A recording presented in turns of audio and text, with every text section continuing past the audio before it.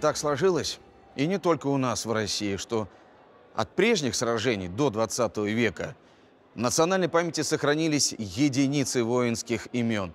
Княжеские дружинники были безымянны, московские стрельцы, петровские солдаты, суворовские гренадеры, гусары, уланы войны 1812 года – все они были почти безымянны. Мы запомнили их общий подвиг, но история не донесла до нас их имен. Мы запомнили имена князей, полководцев, атаманов, куда реже, офицеров, исаулов, рядовых же за тысячелетнюю русскую историю и горсть не наберется.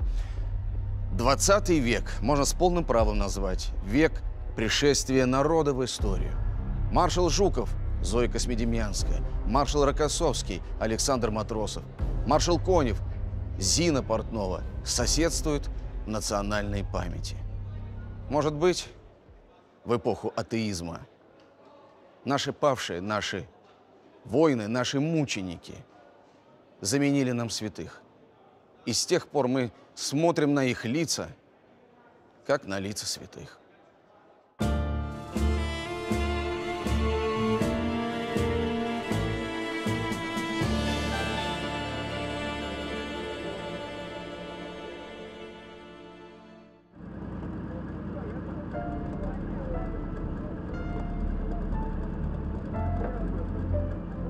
The most striking and terrible thing about the war is that it pulled the youngest generations into the maelstrom.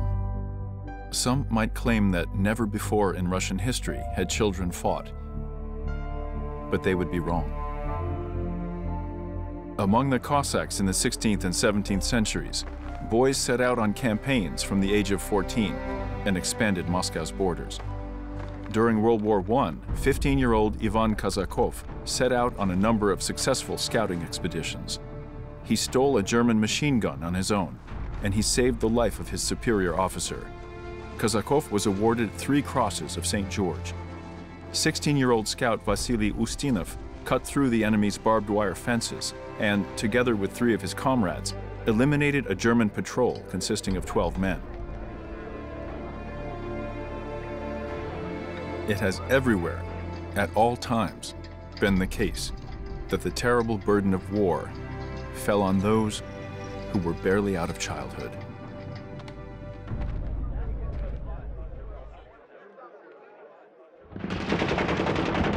Alexander Matrosov lived to the age of only 19.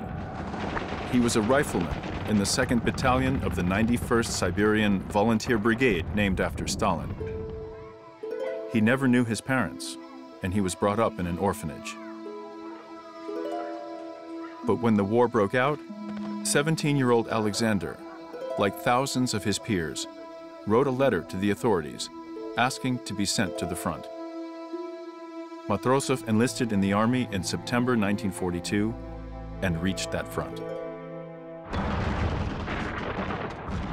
On February 27, 1943, his battalion attacked the Nazis and came under heavy fire. Matrosov, together with his fellow soldiers, crawled to the enemy bunker and silenced the Nazis' machine gun with grenades. The Soviet soldiers, including Comrade Matrosov, then went on the offensive, but again the machine gun began to fire. Matrosov stood up and used his own body to block the window of the bunker. These few seconds during the battle decided everything, for while the Germans in the bunker were deprived of their view from the window, the Soviet offensive went on.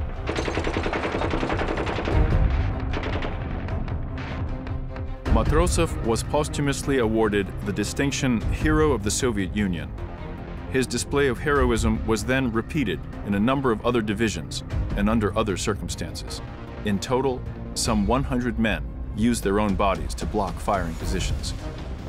Just imagine that number of people. Though not all of them are remembered today. Matrosov is celebrated the most of all. Perhaps in this case, everything just fell together neatly.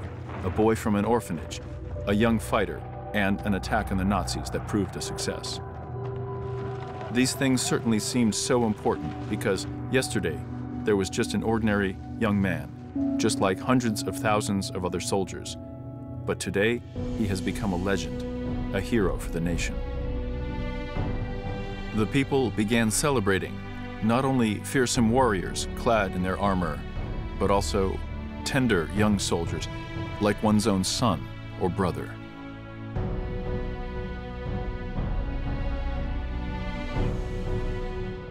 More than 3,500 frontline soldiers under the age of 16 officially served in the Red Army.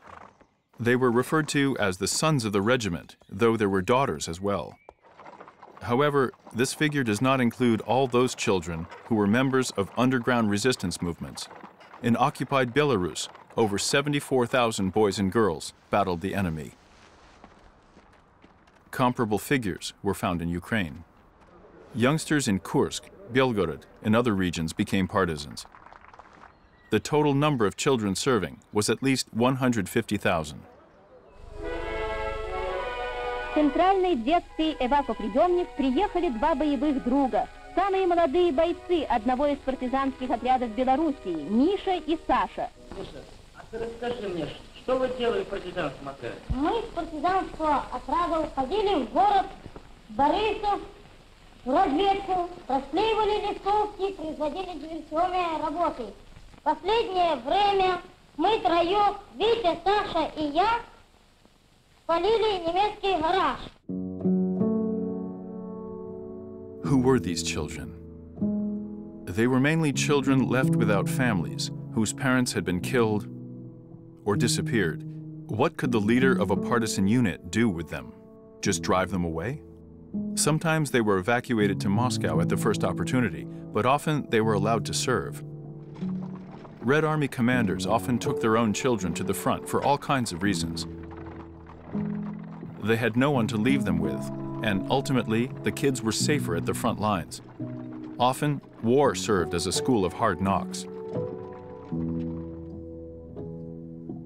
A photograph has survived of a young boy adding his name to the wall of the Reichstag. This is 15 year old Vladimir Tarnovsky, who joined the army in 1943 when Soviet forces were liberating his hometown of Slavyansk. Vladimir enlisted in order to avenge his slain parents and his younger brother, whom the Germans had captured in the Donbass.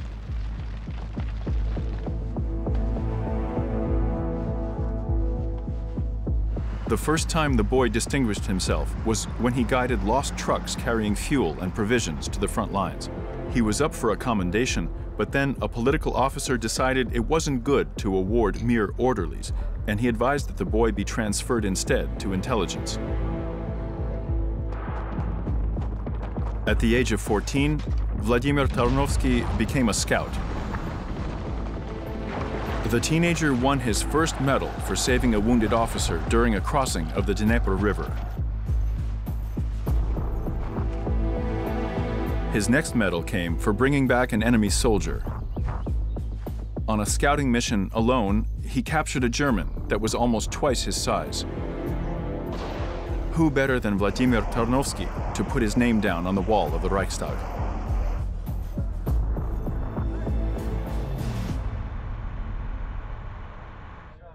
Arkady Kamanin was the son of the Soviet military pilot and decorated hero of the Soviet Union, Nikolai Kamanin. For young Arkady, the military was a family tradition. In February 1943, his father was made commander of an air assault division on the Kalinin front. His wife and son joined him at this new place of assignment.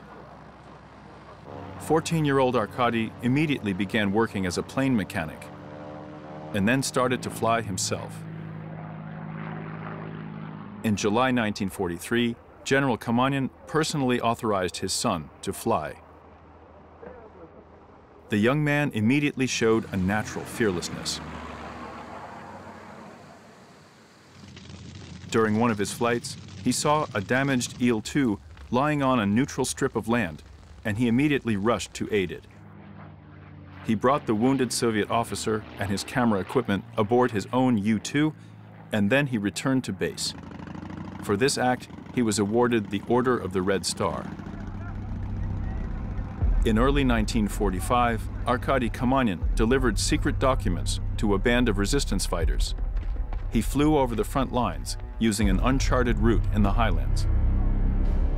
In just two years in the Army, the young man won six medals, though he died in 1947, after the war, from meningitis. So it sometimes happens.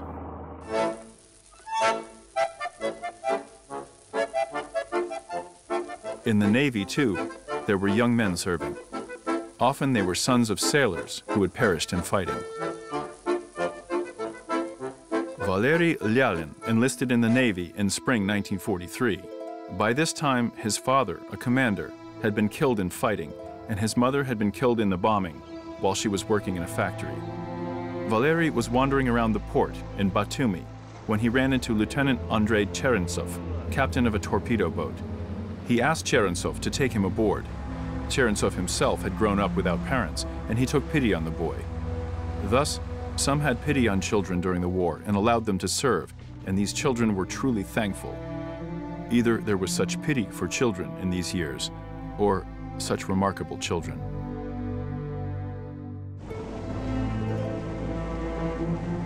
Valery Lyalin performed his greatest feat in September 1943.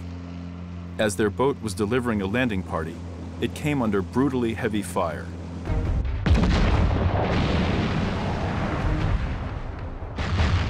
As they were already coming up to the landing, the fuel line of one of the engines was hit by shell fragments. While brave young Lyalin was repairing one of the engines, the other engine stalled. Most of the crew perished, their commander was severely wounded, and those who still survived expected the end to come soon. Everyone aboard the boat were sitting ducks and awaited their doom. But in spite of the heavy fire, Lyalin was able to restart the second engine, and he stood himself at the boat's helm. After the landing party was set down, the boat headed back. To steer the boat, Lyalin had to stand on top of a box. Otherwise, he wouldn't have seen anything.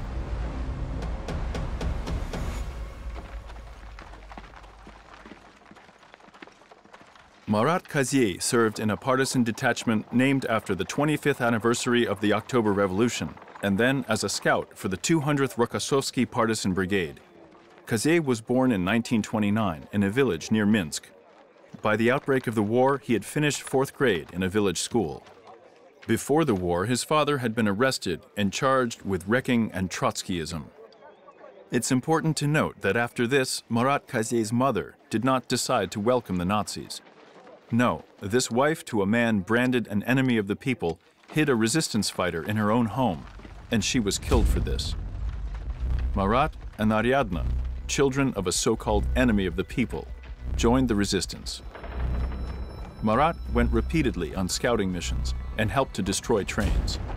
During fighting in January 1943, he led his comrades in an attack, though wounded himself, and they were able to escape encirclement.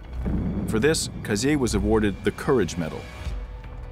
In May 1944, when Marat Kazei and his commander were returning from a mission, they encountered the Germans near the village of Horomitskia in the Minsk region. The commander was slain right away, but Marat kept firing back as long as he had bullets. Out of ammunition, he waited until the Germans came closer and blew himself up with a grenade.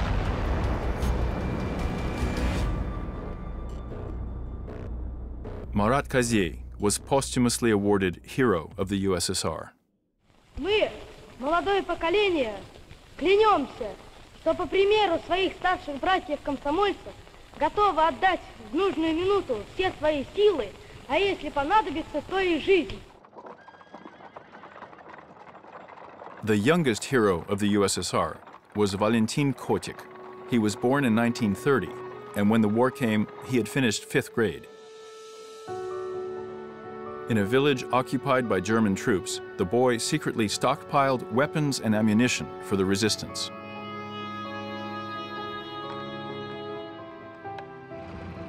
In fall of 1942, Valentin was given his first real mission, to take out the head of the local German police.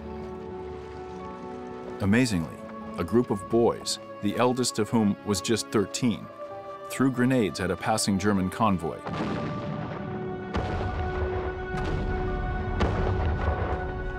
Their target, German Lieutenant Franz Koenig, was killed, along with seven other German soldiers, and some 30 men were wounded. On October 29, 1943, Valentin Kotik was the first to notice that the Germans were coming for his detachment. With his first shot, he killed a German officer and raised the alarm. On February 16, 1944, just five days after his 14th birthday, Valentin Kotik was wounded in the battle for Izyaslav, and he died the next day.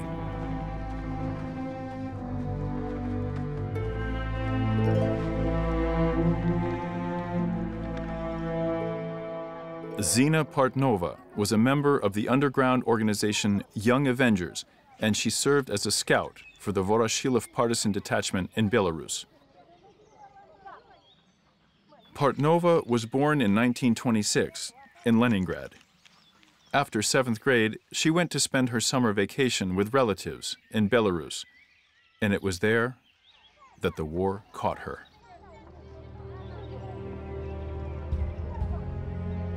Starting from August 1943, Zina was fighting in a partisan detachment. In December 1943, she was assigned to identify why the Young Avengers organization had failed and to establish communication with the underground. After Zina returned to her detachment, she was arrested. During interrogation, the girl grabbed the Nazi interrogator's pistol from the table, shot him and two other soldiers, and tried to escape, but she was caught. She was tortured for weeks, after which her hair, incredibly, had turned white.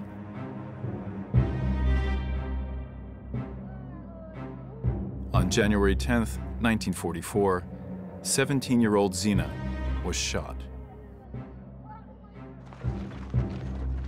In 1958, Zina Portnova was posthumously awarded the title Hero of the Soviet Union. One of the most revered figures among Russians is Zoya Kosmodemyanskaya. She was a partisan and part of a sabotage and intelligence unit on the Western Front. She became the first woman in World War II to be awarded the title Hero of the Soviet Union. In October 1941, she arrived at a recruiting station as a volunteer, and after she was briefly trained in sabotage, she was sent to Volokolamsk. She was sent out on a series of missions where she laid mines on roads and destroyed enemy communications. Her next assignment was to burn down the following settlements which the Germans had occupied Anashkina, Petrisheva, Ilyatina, Pushkina, Bugailova, Gribtsova, Usatova, Grachova, Mikhailovskaya, Karovina. After she had destroyed these places, her mission would be deemed accomplished. This was a harsh measure for command to resort to, but what else could they do? The Germans were outside Moscow. Soviet command quickly realized that the cold winter would at least demoralize the German soldiers and sap entire Nazi units of their ability to act effectively. The destruction of these settlements, among other things, sparked chaos among the German troops. As Zoya was carrying out her mission in the village of Petrisheva, she managed to set fire to a hayloft, and she was about to burn down a house where four German officers and an interpreter were quartered. She was spotted by the owner of the house, alas, a Russian, and handed over to the Germans. The owner of the house was rewarded with just a bottle of vodka.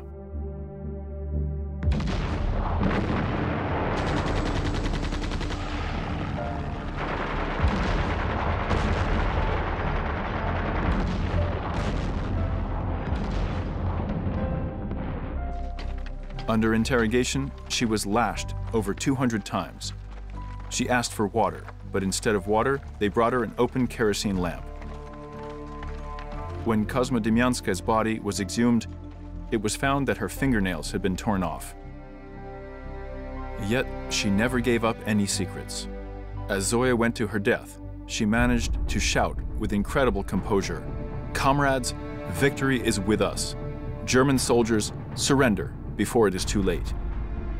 According to another version of events, her last words were different and more fearsome. There are 200 million of us, you can't hang us all. Just wait. Stalin will come. Zoya immediately entered the pantheon of popular martyrs. Poems were written and songs composed in tribute to her. People saw in her their own daughter, or even a saint.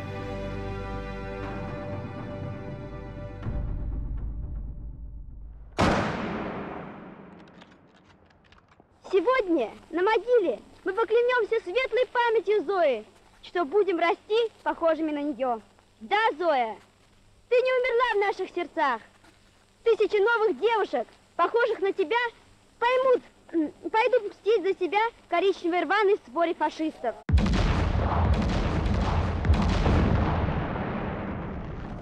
Also of the same general age as Zoya and Alexander Matrosov was Maxim Passar, born in 1923. In 1941, the 18-year-old set off for the front as a volunteer. In the Nanai language, Passar means sharp eye.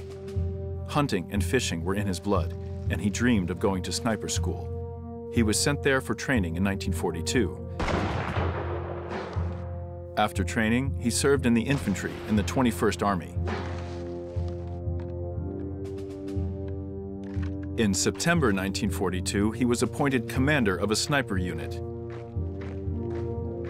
By October 1942, Passar had become the best sniper on the Stalingrad front and eighth best sniper in the whole Red Army.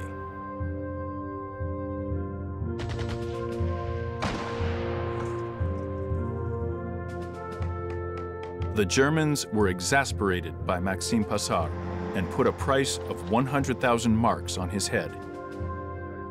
Funny enough, they dropped leaflets personally appealing to him to surrender. On January 22, 1943, as Soviet soldiers made an offensive near the village of Pishanka, they were hindered by two German machine guns.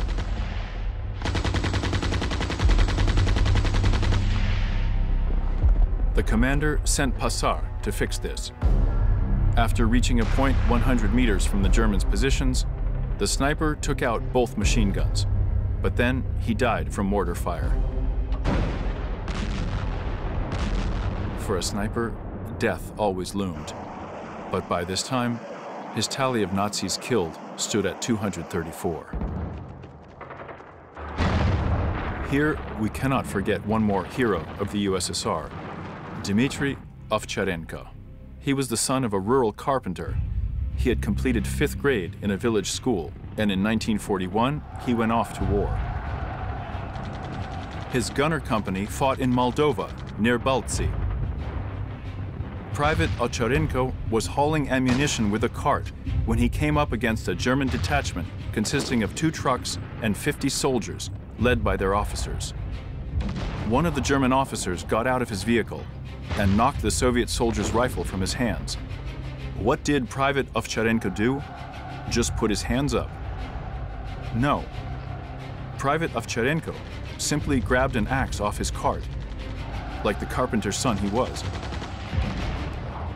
and killed the German officer with it. This demoralized the other Germans, who only stared in horror at this crazy Russian. Ovcharenko did not waste any time, however, and he started hurling one grenade after another into the crowd of Germans. In just minutes, 21 of the 50 German soldiers had been killed. The rest had fled in panic, including the second, now wounded German officer. Once Ovcharenko was out of grenades, he again took up his axe, caught up with the wounded German officer, and decapitated him. Dmitry Ovcharenko was awarded the Hero of the Soviet Union with its Gold Star and the Order of Lenin. In the fighting to liberate Hungary, Private Ovcharenko was severely wounded, and he died from his wounds in January 1945. You probably know of someone else who was the son of a carpenter. One always has to be careful with such men. They have the power to change the course of history.